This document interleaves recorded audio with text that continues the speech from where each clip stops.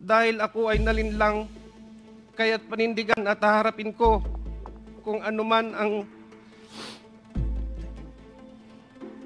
kahantungan ng aking paglalahad ng katotohanan kahit ito ay maging katumbas ng aking buhay.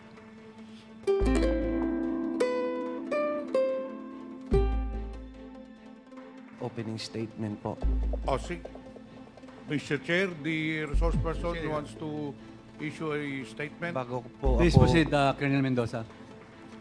Maraming salamat po, Mr. Chair.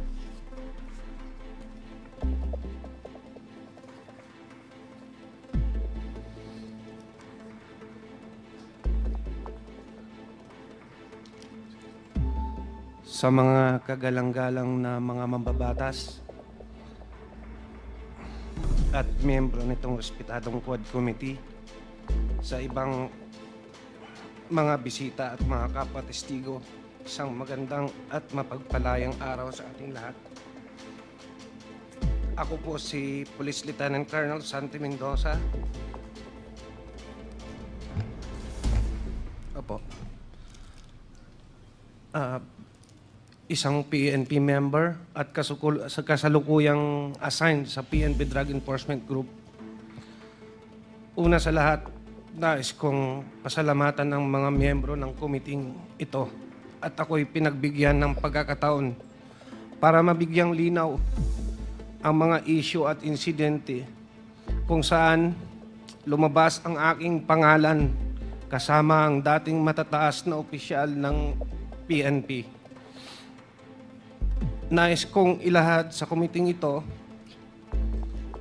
ang katotohanan at mga detalye patungkol sa naturang operasyon para malinis ang pangalan ng mga taong gustong idawit ng mga taong totoong may kagagawan. Ako po ay isang alagad ng batas. Matapat kong ginampanan ang aking tungkulin na walang pag-alinlangan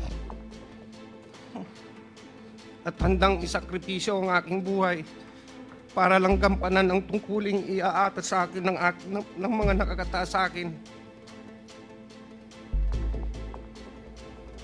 Nais ko pong ipaalam sa kumiting ito na may mga lumapit na po sa akin na mga mataas na opisyal at ma-influensyang tao at ipilit akong pinalalagda sa ak ng isang preparadong sinumpaang salaysay para idiin at idawit ang mga dating opisyal ng PNP at para mailayo ang isyo sa mga totoong tao na nag-utos sa akin para gawin ang masabi ko na ngayon at mali at mapanlinlang na kautusan.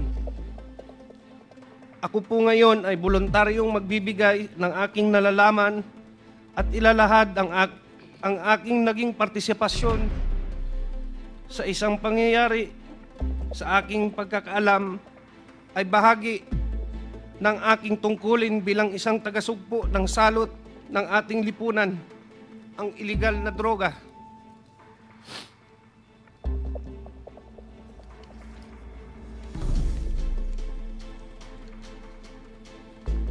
Ngunit ako po ay nalinlang at napaniwala ang ibinigay na tasking sa akin ay makakatulong laban sa droga. Subalit ito pala ay ginamit sa kasangkapan para sa pansariling interes at masamang layunin. Ang paghahayag kong ito ay maglalagay sa panganib hindi lamang sa aking buhay, kundi kasama din ng aking pamilya. Subalit ako ay may tungkulin na iwasto ang aking naging pagkukulang dahil ako ay nalinlang kaya't panindigan at haharapin ko kung anuman ang kahantungan ng aking paglalahad ng katotohanan. Kahit ito ay maging katumbas ng aking buhay. Sana po sa aking paglabas at pagsabi ng totoo ay maibsan ang hinagpis at mabigyan ng hustisya si Attorney Wesley Barayuga at linisin ang pangalan ng mga naidin, id- taong idinawit lamang dito at panagutin ng tunay na may kasalanan. Sa panguli, taos puso po akong humingi ng patawad sa mga taong naapektuhan ng pangyayaring ito. Lalong-lalo na po sa pamilya Barayuga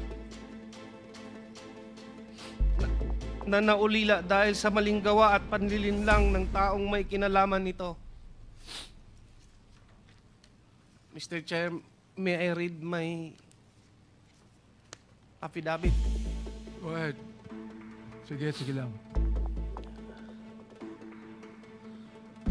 Ako po si Police Lieutenant Colonel Santi Mendoza, nasa tamang edad, isang Pilipino, nagtatrabaho sa PNP Drug Enforcement Group Headquarters, Camp Brigadier General Rafael T. Crami, Quezon City. Matapos manumpa alinsunod sa batas, ay nagsasaad ng mga sumusunod. Ako ay aktibong miyembro ng Philippine National Police na may ranggong Police Lieutenant Colonel. Ako ay kasulukuyang naka-assign sa PNP Drug Enforcement Group Headquarters noong 2019. Ako ay isang police major at naka-assign sa Pi- Philippine National Police National Headquarters for the Deputy Chief PNP Administration. Noong Oktobre 2019, nakatanggap ako ng tawag mula kay Police Colonel Edelberto Leonardo na nagpapabatid sa akin na mayroon siyang espesyal na proyekto na may kinalaman sa isang high-value individual. Sangkot sa mga iligal na aktibidad ng droga. Humiling si Colonel Leonardo ng aking tulong sa pagsasagawa ng operasyon, operasyong ito noong panahong iyon. Nagatubili ako at sinabi sa kanya na kailangan ko munang pag-isipan bago ko tanggapin ang trabahong yun. Sa kabila ng aking pag-alinlangan, iginiit ni Police Colonel Leonardo na kailangan kong maging handa kapag ibinigay na niya ang go signal kaugnay ng nasabing operasyon. Sinabi pa niya na ang pagsasagawa ng proyektong ito ang magdidikta sa direksyon ng aking karera bilang isang pulis. Noong Pebrero 2020, muling nagpaluap si Police Colonel Leonardo at nagbigay ng karagdagang detalye bilang ang kabilang ang pangalan ng target na kanyang tinutukoy bilang isang Wesley Barayuga na nalaman ko siya ay kalihim ng Philippine Charity Sweepstakes Office noong panahong iyon. Binigyan din niya ako ng sinopsis na naglalarawan sa umanang pagkakasangkot nito sa illegal na droga. Matapos matanggap ang impormasyon, sinabi ko kay Sir Leonardo na dahil isang opisyal ng gobyerno ang target, mahalaga na magsagawa ako ng sarili kong verifikasyon. Ngunit sinabi niya na hindi na kinakailangan dahil ang utos ay mula kay GM Garma, dating Colonel Ruyena Garma, na may personal na kaalaman tungkol sa mga illegal na aktibidad, aktibidad ng droga ni Wesley Barayuga. Sa kabila ng aking pag-aalinlangan na tanggapin ang utos na ito, sa kadahilanang isang opisyal ng gobyerno ang aming target, ako ay napilitan na lang na sumang-ayon at sumunod dahil ang utos ay mula sa nakakataas na opisyal at upperclassman ko na si Colonel Leonardo at ang utos ay galing mismo sa isang opisyal ng gabinete ni, Ma'am Rowena Garma. Sa personal na aspeto, nag-aalala ko ano ang maaring mangyari sa aking karera bilang isang pulis at higit sa lahat sa aking buhay. Pamilya, kung tatanggapin ko at tatanggi ako, usundin ang utos. Matapos tanggapin ang assignment, pinasimulan namin pinasimulan pinasimulan ko ang paghahanda para sa proyekto kabilang ang pag-recruit ng isang angkop na tao para isagawa. Kinausap ko si Nelson Mariano na kilala kong may network kaugnay sa ganitong klaseng operasyon. Dahil siya ang aking dating informant sa mga personalidad ng droga at binigyan ko siya ng paunang detalye ng proyekto. Gayon pa man, bago maisakatuparan ang anumang aksyon, dumating ang COVID-19 pandemic na nagresulta ng pagpapatupad ng mahigpit na lockdown sa National Capital Region na nagpahirap upang maipagpatuloy ang operasyon noong panahong iyon. Sarado ang mga tanggapan ng gobyerno at limitado ang galaw ng mga tao, kaya mahirap masubaybayan o masundan ang target.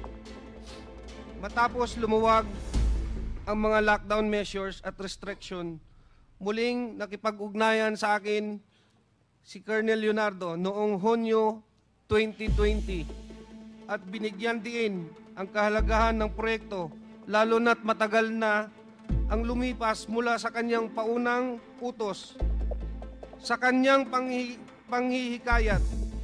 Sumang-ayon ako na muling kausapin si Nelson Mariano upang alamin kung nakahanap na siya ng taong angkop sa itinakdang gawain. Nakumbinsi ko si Nelson Mariano na lumahok sa operasyon base sa intelligence report na tinanggap namin mula kay Police Colonel Leonardo na siya namang nakuha niya mula kay Ma'am Garma. Nagsasaad na si Wesley Barayuga ay sangkot sa mga iligal na aktibidad ng droga. Sinabi rin ni Police Colonel Leonardo na may isang taong nagngangalang Tox ang makikipag-ugnayan sa akin at magbibigay ng karagdagang impormasyon tungkol sa target. Ang nasabing Tox ayon kay Police Colonel Leonardo ay isang bata ni Ma'am Garma mula sa CIDG. Matapos makatanggap ng tawag mula kay Tox, sinabi ko sa kanya mag-coordinate siya sa aking middleman na si Nelson Mariano na siyang magbibigay ng impormasyon sa designated hitman. Sinabi ni Nelson Mariano sa akin na nakahanap na siya ng hitman at nagngangalang Luloy. Sinabi niya na maasahan si Luloy at kayang tapusin ang ibinigay na gawain. Sinabi ko kay Nelson na magipag-ugnayan sa sa kanya, si Tox, na magbibigay ng detalye tungkol sa target. Pinayuhan ko siya na mag-ingat at magkita na lang kami muli pagkatapos ng proyekto upang ibigay ang bayad na manggagaling kay Police Colonel Leonardo. Noong Hulyo at 30, 2020, muling tumawag si Colonel Leonardo at ipinaalam sa akin na ang target na si Wesley Barayuga ay nasa PCSO at maari na naming isagawa ang operasyon. Ipinadala niya sa akin ang larawan ni Wesley Barayuga habang ito ay nasa conference meeting sa loob ng PCSO. Sinabi ni Colonel Leonardo na ang larawan ni Wesley Barayuga ay kinuha at ipinadala sa kanya ni Ma'am Garma. Sinabi rin ni Colonel Leonardo na hindi kami mahihirapan sa pagsasagawa ng operasyon dahil nag-issue na si Ma'am Garma ng isang service vehicle para gamitin ni Wesley Barayuga at binigay sa akin ang description at plate number ng sasakyan. Sinabi niya na maari na naming tirahin si Wesley Barayuga pagkatapos niyang lumabas sa gusali. Ipinasa ko ang lahat ng impormasyong ito kay Nelson Mariano. Matapos na matagumpay na naisagawa ang operasyon, ipinaalam sa akin ni Police Colonel Leonardo na si Ma'am Garma ay nagbigay ng 300,000 bilang kabayaran para sa aming trabaho. At ito ay iaabot ni Tox sa aking middleman na si Nelson Mariano. At nang magkita kami ni Nelson, inabot niya sa akin ng halagang 40,000 bilang aking bahagi sa ka- kabayaran.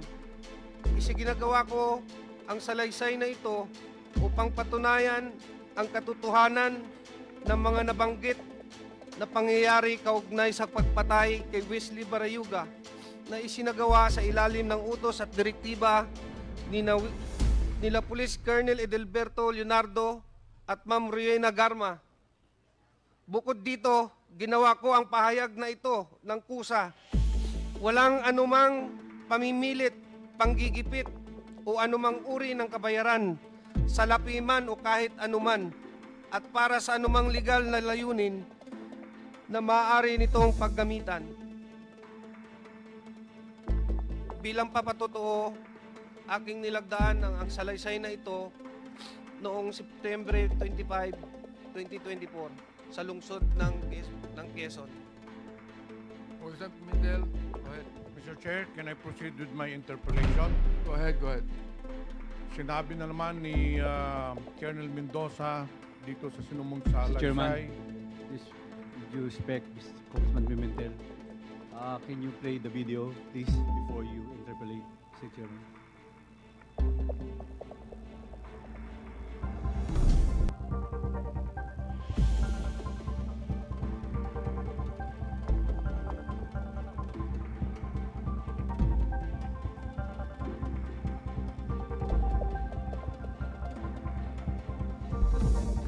Santi, ito ba yung uh, sasalaysay mo? Ito ba yung sasalaysay mo? Nakita natin sa video. Opo, Your Honor. Thank you, Mr. Chairman. Mr. Chair, yung nakita po ninyong may video ngayon, lalo na doon sa mga nandito, yung po ay pangyayari noong July 30, 2020, kung saan pinaslang si Attorney Wesley Barayuga. Mamaya, ikikwento ko po sa inyo or establish po natin, pero base sa salaysay niya, para masigurado natin, natin sino ang nagpapatay, binanggit na kanina ni Colonel Mendoza, at ang pinakaimportante sa lahat, klaklaruhin po natin kung bakit pinapatay ni Colonel Garma si Attorney Wesley Barriuga. So kung mararapatin mo lang, Colonel Mendoza, para mas ah, maliwanagan talaga ang lahat, isa-isahin po natin yung sinumpang salaysay mo. Sinabi mo sa paragraph 2, noong October 2019, nakatanggap ka ng tawag kay Police Colonel Edelberto Leonardo. Bakit kilala mo itong si Colonel Leonardo? Kasi po dati po akong ah, Regional Drug Enforcement Unit ng NCRPO sa panahon po ni former Chief PNP ah, Camilo Casculan, sir. So na-assign ka sa kanya sa Opo. under uh, At his, ah, uh, lahat po ng RDEO chief before, eh, may contact po sa kanya. So kilala mong personal itong si Colonel Leonardo. Opo. Nandito po ba si Colonel uh, Leonardo sa kwartong ito? Pwede mo bang ituro? Saan dito si Colonel uh, Police Colonel Huberto Le- Leonardo? Opo. Pwede mo Katabi po ituro? ni Sir Patay. So Mr. Chair, the resource Mr. Chair, person Tumayo, pakitayo nga at pakituro mo si Colonel Leonardo. Mr. Chair, clearly the resource person has identified Police Colonel Leonardo in accordance with this affidavit. Nung tumawag sa iyo si Colonel Leonardo noong October 2019, anong sinabi sa iyo? Ah, ayun nga po, ah, sabi niya may pakiusap siya kung pwede ah, tulungan ko raw siya sa isang pro- project na to kasi high value target daw po. Ang Pero sinabi wala- niya sa iyo, nagpapatulong siya para sa isang malaking operasyon, sa isang high value target. Opo. Sa pagkakaintindi mo, nung sinabi siya iyo na pinakiusapan ka, ano ba ang ibig sabihin ng operasyon?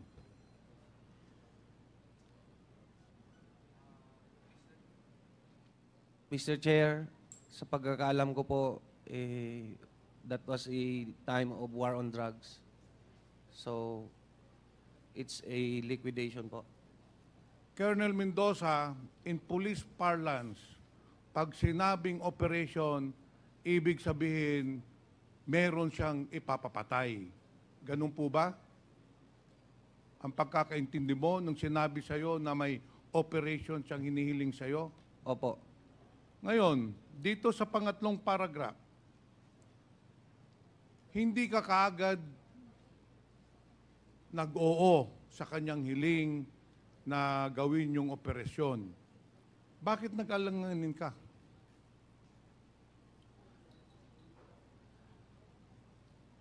Sir, wala na po ako sa RDO kasi noon, sir eh. So hindi ko muna sumagot kay ah, Colonel ah, Leonardo na Opo, gagawin mo. Pero nung Pebrero 2020, tumawag na naman si Colonel Leonardo sa iyo at nagbigay na ng karagdagang detalye.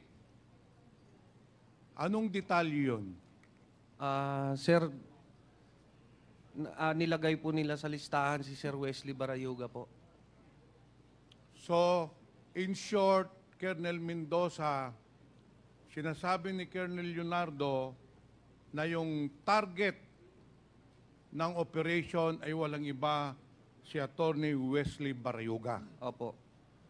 At nagbigay po sila ng synopsis tungkol sa ah, activity ng ni Sir Wesley Barayoga daw sa ah, Ah, pero that is very clear, Mr. Chair, na fabricated yon para maniwala ka. Kilala mo ba yung Wesley Barayuga?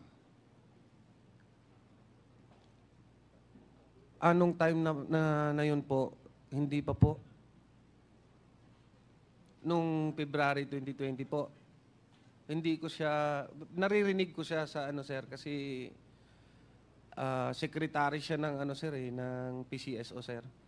Mr. Chair, yung binabanggit po ni Colonel Mendoza na pag, sa pag-uutos ni Colonel Leonardo, si Attorney Wesley Barayuga po, for the information of everyone, is a retired police general, PMA Matikas Class 83. He was the corporate board secretary of PCSO. He assumed his uh, position on January 24, 2018 until his death on July 30, 2020. Nagpag-abot po sila ni Colonel Garma. Si Colonel Garma naman po ay July 15, 2019 na talaga sa PCSO hanggang um, June of 2022. Balikan po natin yung sinampang salaysay mo.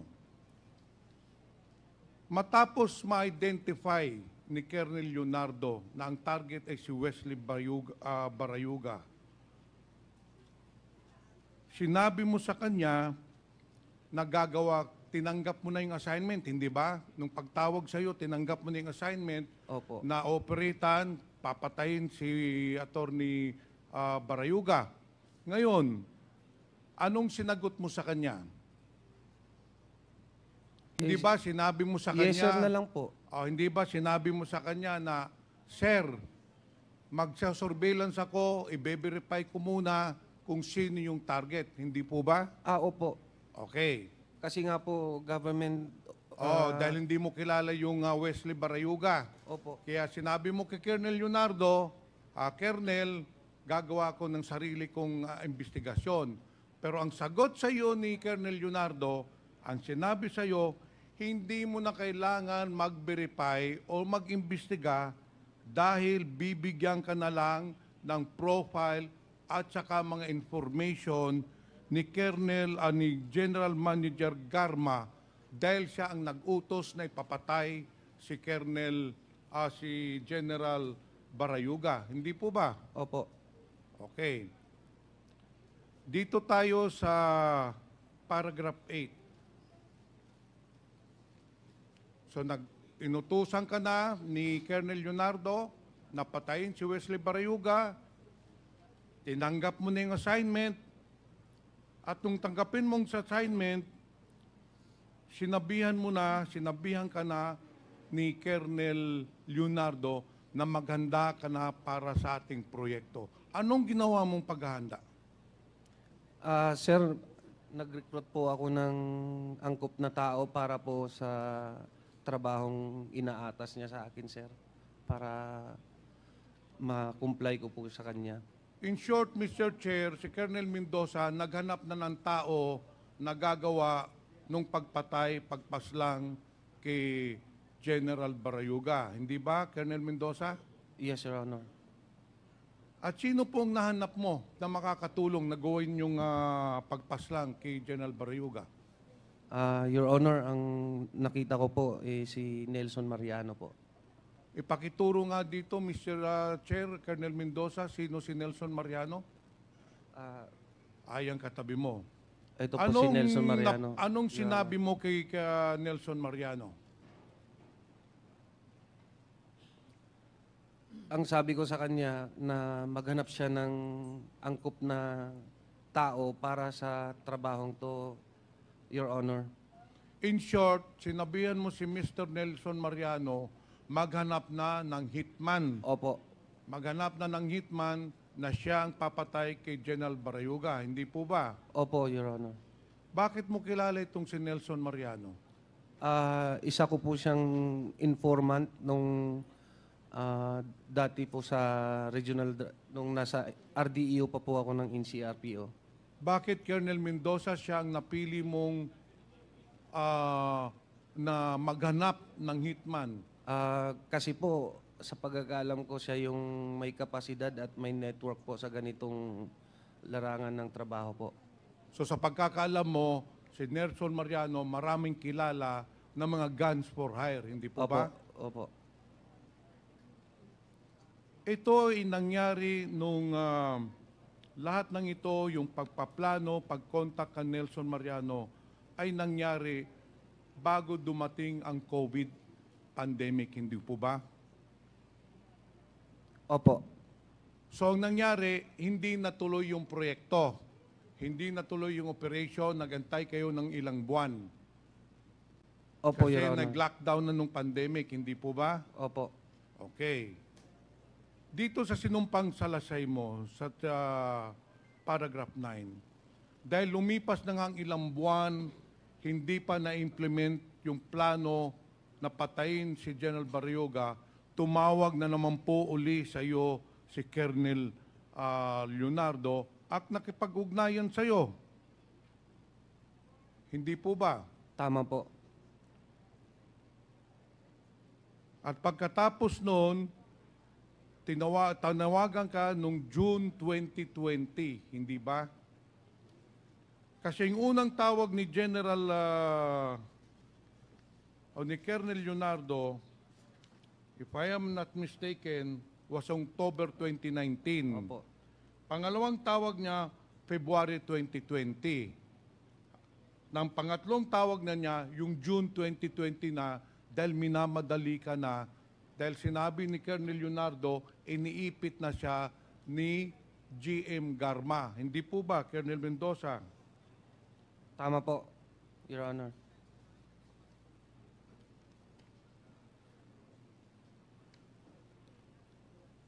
Ngayon, nung nakontak mo na si Colonel ah, si ah, Nelson Mariano, tumawag uli sa iyo si Colonel Leonardo at sinabihan ka na may isang taong nagngangalang Tox na tatawag sa iyo, hindi ba?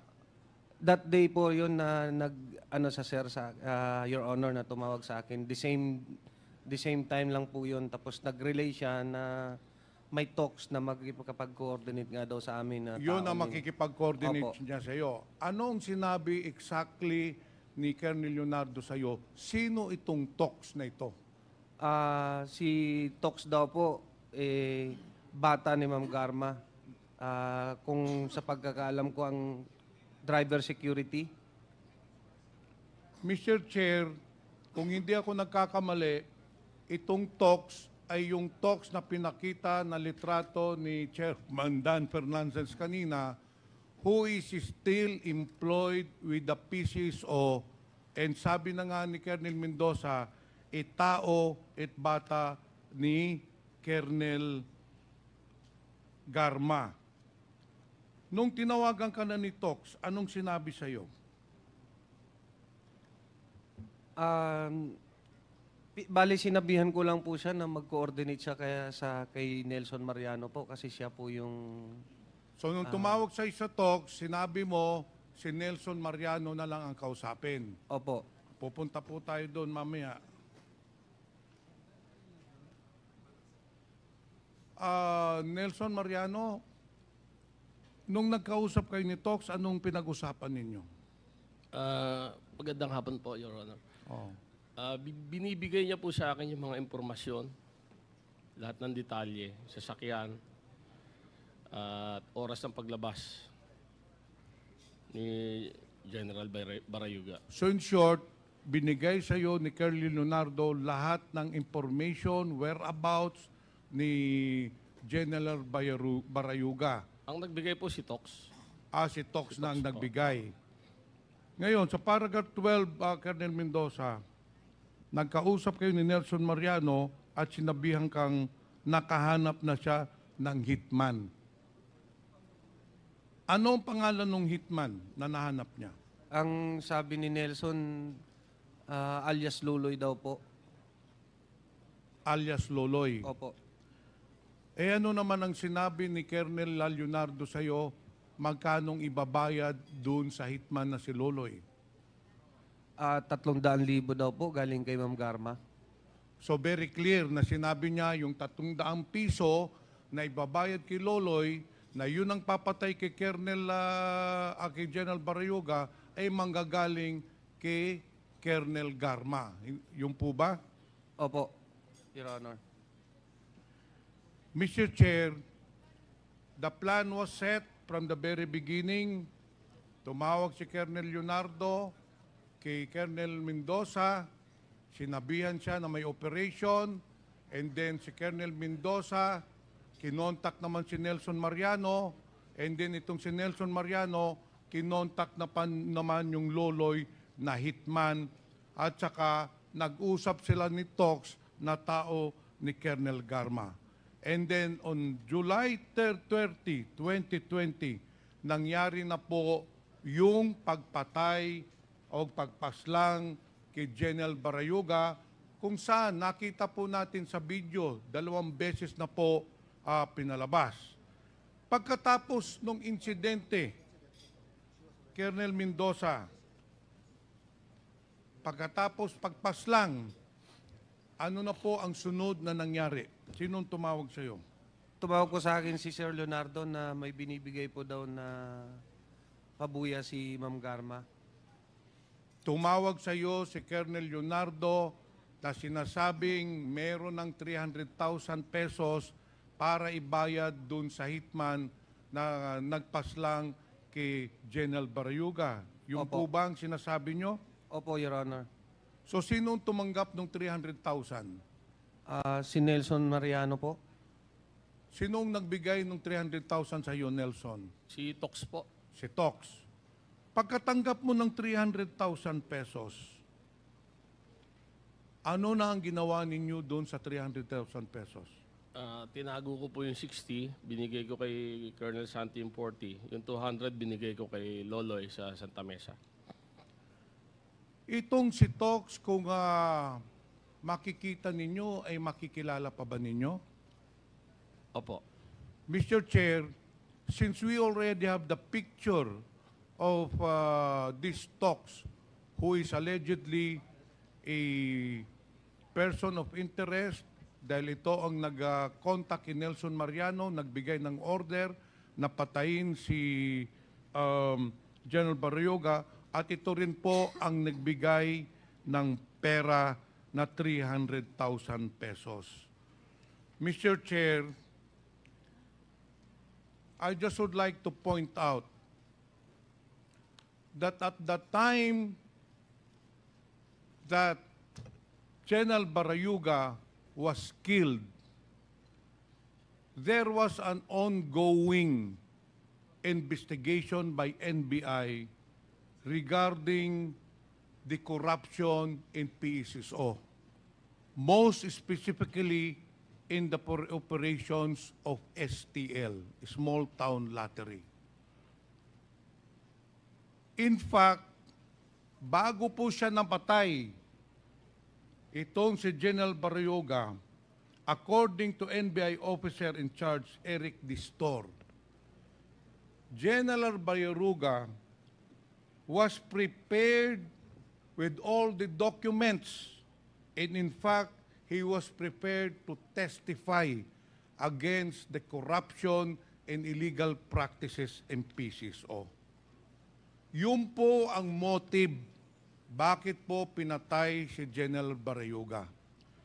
Yung nakita po yung pick up kanina na sinakyan ni General Barayuga was given by Colonel Ruina Garma to make sure na ma-identify po si General Barayuga. Kasi si General Barayuga, wala hong sasakyan yun. Kaya mahirap po i-surveillance dahil lalong walang routinary procedure.